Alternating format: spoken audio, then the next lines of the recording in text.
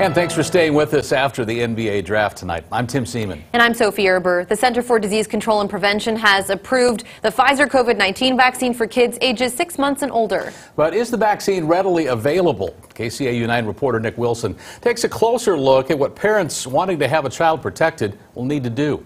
It's our top story tonight at 10. Thanks, Tim and Sophie. More than 7,000 children in Woodbury County are now eligible for the COVID-19 vaccine, and Siouxland health officials say they should be widely available soon. For Sioux City parent Pam Cobb, time is running low to get the vaccine for her child. She hopes to get her four-year-old daughter vaccinated before preschool starts this fall. She wants her daughter to be vaccinated like the rest of her family. We've been wearing masks uh, her two older siblings have the vaccine already. They are 8 and 12.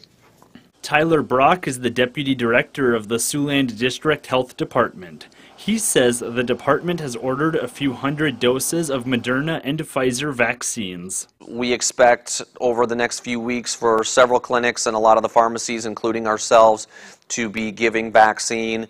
We've got plenty on hand and we should be able to meet whatever demand is out there. Brock says he expects more clinics and pharmacies to receive the vaccine over the next couple weeks, but not all pharmacies will be able to provide the dose.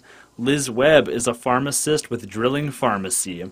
She says while they provide COVID vaccines for adults, pediatrician offices are better suited to administer the vaccine to young children. Usually when you go to the pediatrician's office, they have a table where that child can lay down because those vaccines are often administered in the thigh muscle. So um, the nurses are kind of a lot more hands-on with that patient population. And in our immunization room, we have chairs that are a lot more suitable for the children five and up that we're already administering to.